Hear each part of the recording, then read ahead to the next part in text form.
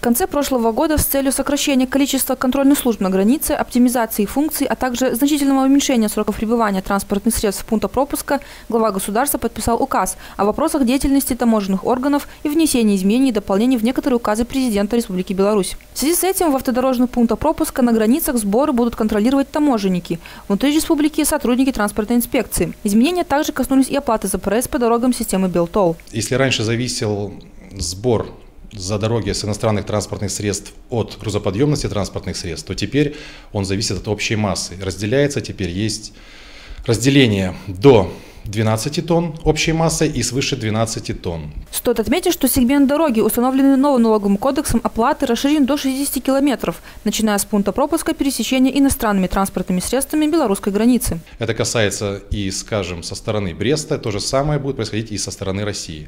Выходя за пределы сегмента 60-километрового, любое транспортное средство иностранное должно будет оплатить увеличенный размер сборов в 20-кратном размере. Если автомобиль в обычном порядке грузовой оплачивал 35 евро, не выполнив эти условия платного сегмента, он будет оплачивать 700 евро.